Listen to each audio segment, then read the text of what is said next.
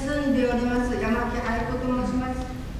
今は亡き奥さん高梨忠宏さんの妻典子さんと同じ障害を持つ者同じ介護施設で閉鎖物を受けすぐに友達になりました。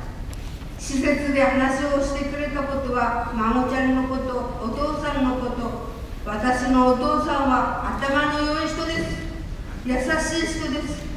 約束を守る人です妻ののりこさんが言うのですから間違いありません今思うといろいろありますが私の心に留めておきます忠宏さんの愛情は素晴らしいものです。今日はおげを作ってくれるんです。今日はカニ丼ですよと私に教えてくれました。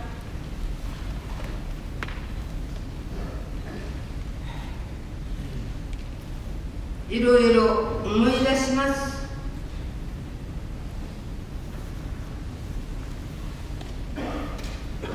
私は上杉の教訓が大好きです。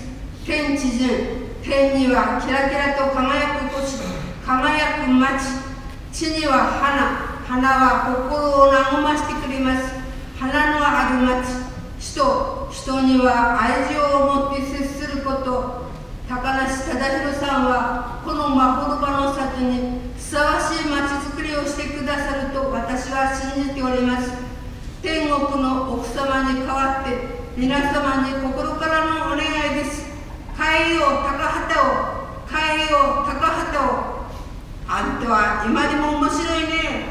大丈夫ですよ。のりこさんの声が聞こえてきました。今日は月命日だそうです。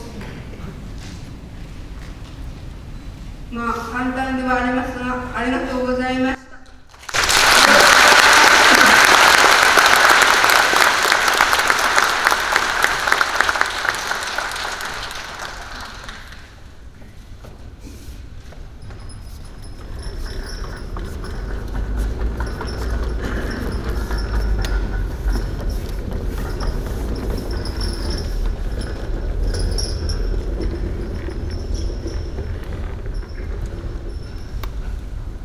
心温まるご挨拶本当にありがとう。ございます